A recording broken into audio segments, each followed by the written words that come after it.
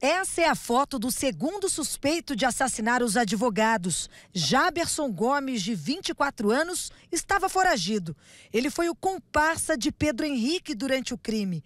A polícia já tinha informações do paradeiro e na noite de ontem, durante as buscas, ele foi morto durante um confronto.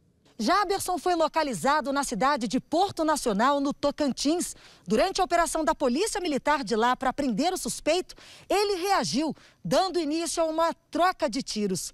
Equipes da Rotan dos dois estados deram apoio, junto com o Serviço Aéreo de Goiás. Um policial militar acabou sendo baleado, mas foi socorrido.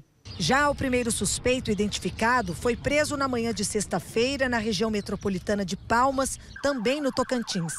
Pedro Henrique Martins Soares, de 25 anos, é apontado como um pistoleiro conhecido na cidade. Tem várias passagens na justiça.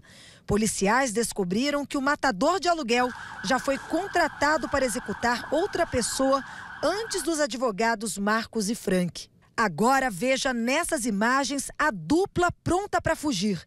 Jaberson e Pedro Henrique aparecem saindo de um hotel na capital, onde ficaram hospedados por quatro dias. Reparem que eles preencheram a ficha na recepção com os nomes verdadeiros, CPF, número do celular e endereço.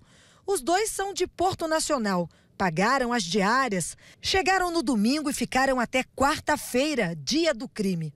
Após o assassinato, voltaram para pegar as malas e depois entraram neste carro preto.